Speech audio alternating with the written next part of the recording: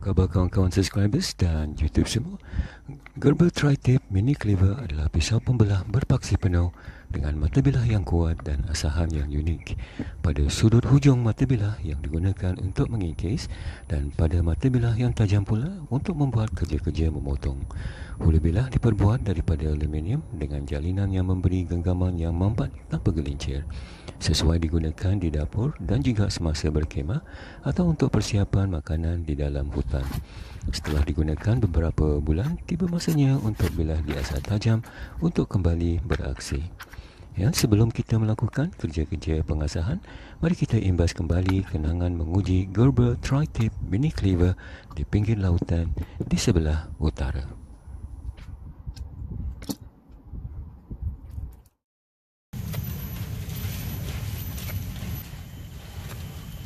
That's a good stake for your tent.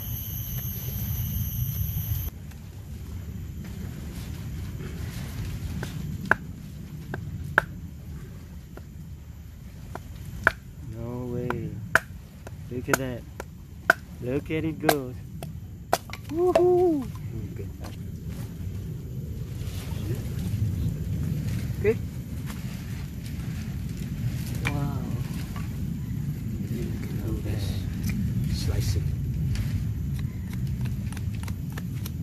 Not bad, not bad. Yep. That's it. So you recommend this? Yeah. For your kitchen knife. Okay. At least you use something that meant for your food lor.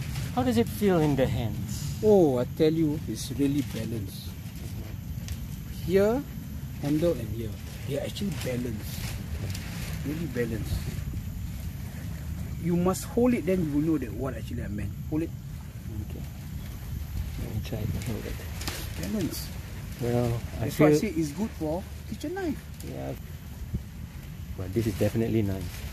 I like the feel of the blade. Okay, and Very how nice. do you put it? Okay, Okay. Yeah, keep it back. done. I can see that you can clip this. You can run through your belt. Can Not bad. practicing how to use this for my future outdoor cooking. You know, it's amazing. We get all these camping tools, cutting tools, Uh, and then we start to do all the cooking at home. Yeah, and we start to have all this during the COVID 19. That's the best. Yeah, one of the blessings. Uh, uh, okay, that the uh, we come to discover the wild side, The wild the side. wild side of life. Eh? okay. Okay, thank you so much for sharing. Dengan garisan marker pen pada mata bilah untuk mencari sudut yang sesuai. Uh, asahan bermula dengan batu asahan 140 kersik ya untuk membentuk apex mata bilah ya dengan mengekas beberapa lalu untuk menimbulkan gerigis ya di balik mata bilah.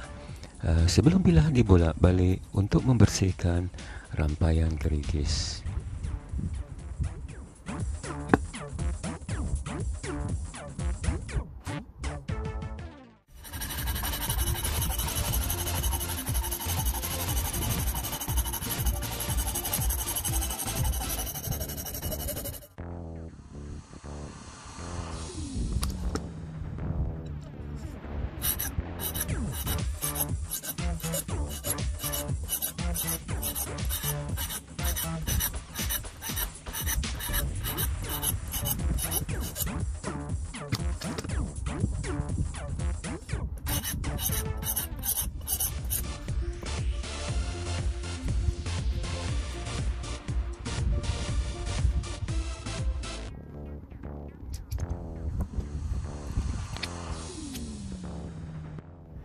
Kemudian, batu asahan ditukar dari 140 ke 300 kerisik ya bagi menimbulkan gerigis untuk menyempurnakan pembentukan apex pada mata bilah.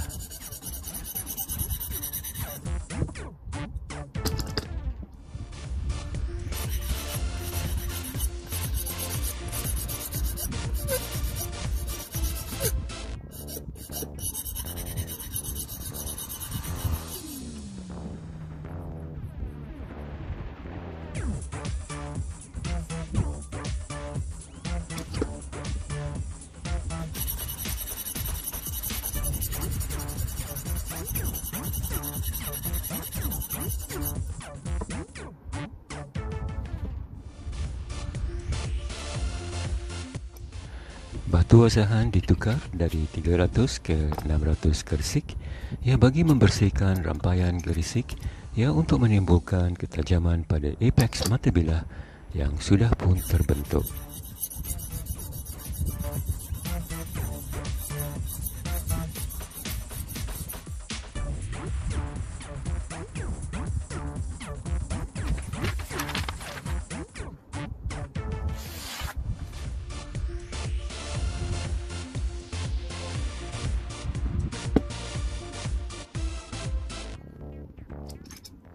Dan akhir sekali, batu asahan 1500 kersik yang digunakan untuk menambah kemulusan dan ketajaman mata bilah.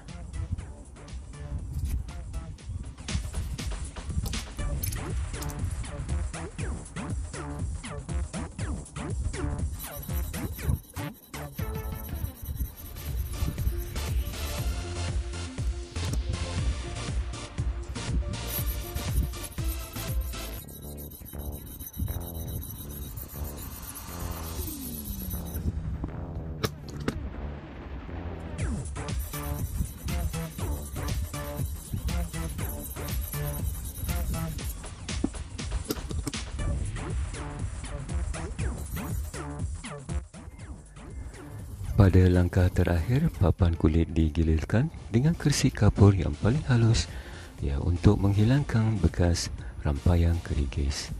Ya, mata bilah akan digilap silang berganti pada papan kulit berkali-kali sehingga mata bilah menjadi lebih tajam.